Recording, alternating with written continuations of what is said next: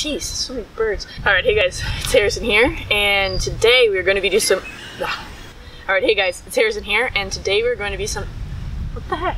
Hey guys, it's Harrison here, and welcome to the first episode of Harry's Finds. So, Harry's Finds, we're going to be talking about different articles of clothing and how trans men can fit into the clothing that they want to. Uh, kind of guide you through brands, guide you through cuts, guide you through everything. Today, what I want to talk to you guys about are jeans. Um, now, I've had a really tough time finding jeans. Anything that is in the men's section that has to do with pants, I never try it on because it's just so discouraging whenever a pant goes down to like here and you have to get it hemmed and all this stuff. Like it just it just makes you feel a little bit like dysphoric. And I've just kind of stopped trying on men's pants uh, altogether because I know that it's not going to happen. But uh, yesterday or two days ago, I was shopping with my friend and we went to a store called Below the Belt. Um, they sell a bunch of different brands, and one of the brands that they had is a brand called Kollar. Kollar Clothing. I'm not sure if I'm saying it right, but that it's K O L L A R, and I'll put it right here. She was like, "Oh, just try it on. It looks small." I was like, "Well, like I know, I know that things look small, but as soon as I put them on, they're huge." So she made me do it, and uh, gave me a little bit of confidence having somebody else with me, and uh, I tried it on, and it fit perfectly. Now Kollar jeans fit nice and narrow along the ankles, which is great for for small guys.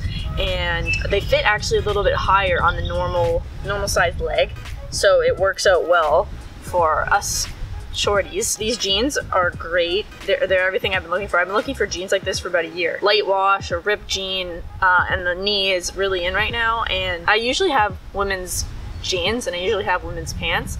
But even when I was trying on the women's pants for this kind of style, they didn't have all the masculine kind of like things like this. They didn't have like all the masculine little details of it, and it just I didn't like the, the material. I didn't like the way that they fit me. It just was very feminine, and I and I didn't like it. So I went a long time without these jeans, and I knew that it was something that I was missing out of my wardrobe. So when I finally went to the store and I saw these, and I tried them on and they fit, it was just such a great moment, and I wanted to share that with you guys and give you a tip on hey, if you're looking for some ripped jeans, Kollar is is great. Is it's great. I'll show you guys the fit. So so it's like it's like it's not a jean where you do it up or anything. It's it's more of like a jogger, but it's but it's nice. Like it's it's it's great material. They didn't skimp out on the material. I know joggers sometimes don't have the best jean material, but it's great. They got a ton of details. I like all this stuff going on.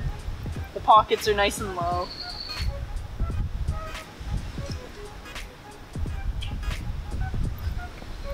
And yeah, so it fits about here on the ankle, which is which is perfect. But yeah, so I just really enjoy this fit, and um, I'll, I'll link below the exact ones that I got. So these jeans are $184, which I know is not cheap, but it's really great quality. It's like 50% cotton, 50% denim or something. So it's very stretchy, it's very comfortable. You can move in it. I was driving in these and it just felt like I was wearing like thick pajama pants. They were that comfortable. So I really enjoy them.